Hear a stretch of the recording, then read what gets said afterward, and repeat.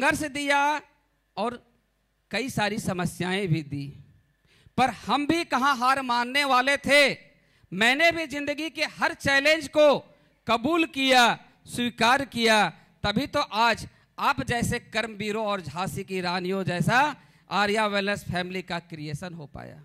झारखंड के एक छोटे से सर धनबाद से इस आर्या वेलनेस फैमिली का जो शुरुआत हुआ था, आज खुशी है कि भारत के करीब आठ से दस स्टेट में आपका ये परिवार फैल चुका है।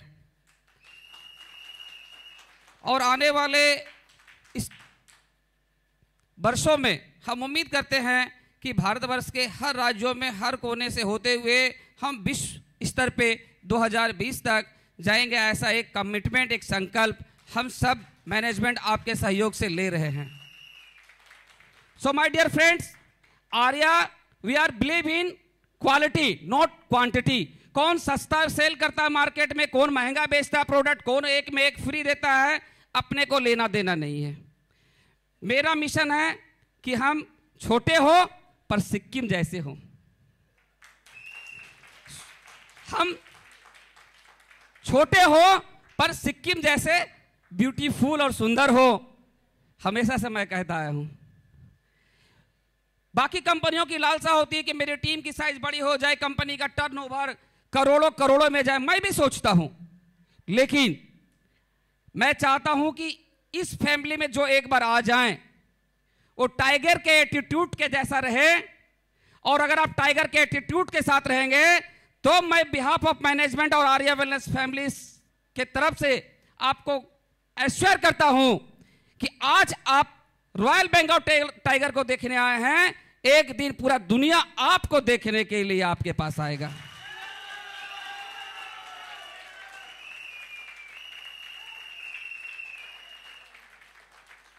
तो एक छोटा सा मैसेज है, अगर कहीं किन्हीं को कोई कंफ्यूजन आ रहा है वेलनेस फैमिली से, आप थोड़ा थोड़ा टेस्ट करके आप देखो। भरपेट मत खाओ। पूरे मन से मत करो। फाइनल अगर डिसीज़न हो जाए, आर्या की प्रोडक्ट क्वालिटी अच्छी है सर्विस अच्छा है टाइम पे पे आउट आता है सपोर्ट सिस्टम बढ़िया है ट्रू कमिटमेंट है तो फिर अगर आप एक बार डिसाइड कर लो तो वापिस मुड़ के मत जाना मेरे भाई, तभी आपको लोग देखने के लिए आएँगे।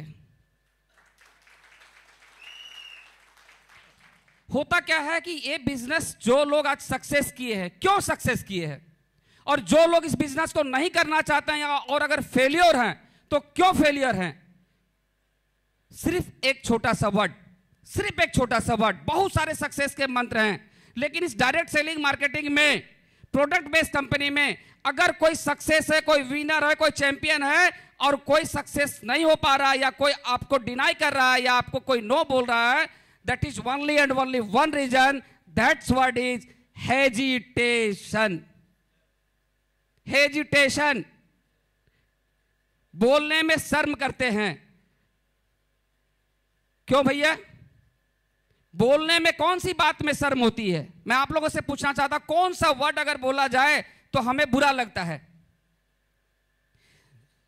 ऐसे वर्ड जिस वर्ड को बोलने से मेरी भलाई हो सकती है, आपकी भलाई हो सकती है, आपके फैमिली वाले की भला हो सकता है, आपके आजू बाजू पड़ोस वाले को भला हो सकता है, आपके रिश्तेदार की भलाई हो सकती है, देश का भला हो सकता है, पूरा दुनिया का भला हो सकता है तो ऐसे वर्ड को बोलने में कोई बुरी बुरी बात है क्या?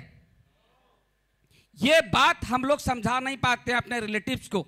हम कभी कभी खुद को भी नहीं समझा पाते हैं और कहते हैं, यार, यह बिज़नेस नहीं होगा। क्यों? क्योंकि लगता है हम किसको बोलेंगे? वो क्या सोचेगा? सर, हम कोई बुरा सब तो बोल नहीं रहे हैं। किसी को कोई गाली तो दे नहीं रहे हैं। किसी को कोई सब तो बोलते नहीं हैं। कुछ अच्छी बात को अगर बता देने में किसी की ज़िंदगी की भला होती है तो बताने में कोई बुराई है? कोई पाप लगेगा? फिर क्यों हम एजुटेशन करते हैं? आप डिसाइड कर लेते हैं, वो नहीं करेंगे। करना क्या है? वेरी इजी जिसे हम रेगुलर बोलते हैं डायरेक्ट सेलिंग मार्केटिंग का ये प्रिंसिपल है। First you become a an user first you become an user हम सब by birth we are a by birth consumer हैं।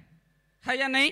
चाहे मेरे ब्रदर इल्ला की बात हो, आपके ब्रदर इल्ला की बात हो, आपके भाई बहन की बात हो, आपके आजू बाजू, पास पड़ोस में रहने वाले की बात हो, देश के प्राइम मिनिस्टर की बात हो चीफ मिनिस्टर की बात हो, या इस होटल मालिक की बात हो।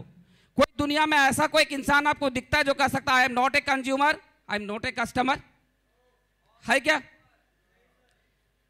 First we are human beings and after that every human beings and user एक कस्टमर हम कस्टमर हैं। मार्केट को ब्रांड को हम यूज़ करते हुए लगातार आ रहे हैं। कभी उन्होंने कुछ भी हमें कोई सिंपैथी के दो वर्ड भी बोले, पैसे की बात छोड़िए कैरियर की बात छोड़िए। नहीं बोला।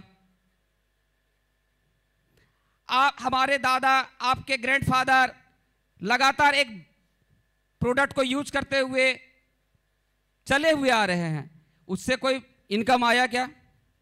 नहीं आया। बेसिक थ्योरी जो डायरेक्ट सेलिंग मार्केटिंग का बेसिक थ्योरी ये आप लोग जानते होंगे।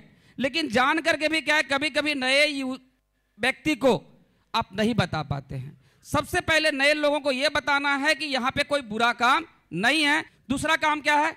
जो टीवी पे आके शाहरुख खान झूठ बोलता है, जो टीवी पे आके नवरत्न का प्रचार अमिताभ बच्चन झूठ बोल के करता है, वो सचमुच में आपको हेयर लाइट का प्रचार करना है या फ्रिंजा हेयर ऑयल का करना है। लक्ष्य का नहीं करके आर्या का आयुष्मती निम टर्मरिक शॉप का एडवर्टाइजमेंट करना पब्लिसिटी करना अपने रिलेटिव्स को बोलना है। बस ये दो तो काम ही करना है। और उनको भी यही करने के लिए बोलना है। सिंपल डुप्लीकेशन लेकिन वही वर्ड हेजिटेशन के वजह से हम कभी नहीं बोलते हैं या, या हेजिटेशन के वजह से कोई नो करते हैं। जय आर्या जय हिंद।